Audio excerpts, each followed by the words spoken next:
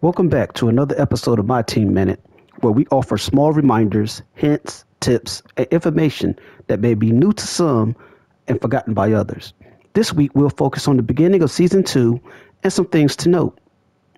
Well, season one is over, and with today's reset, we'll take a quick look at the Triple Threat Online Co op and the Triple Threat Online Co op competitive agendas. In the season agendas, you'll notice that the TTO co op now has a trophy case piece associated with it. By winning one, five, and 10 games in either mode, you'll earn XP.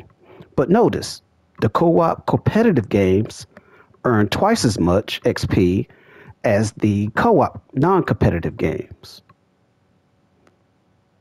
I've always been a huge proponent of offline modes rewards being less than online modes, and this holds true here as well. The TTO co op non competitive is playing with others against the AI. It's essentially an offline mode.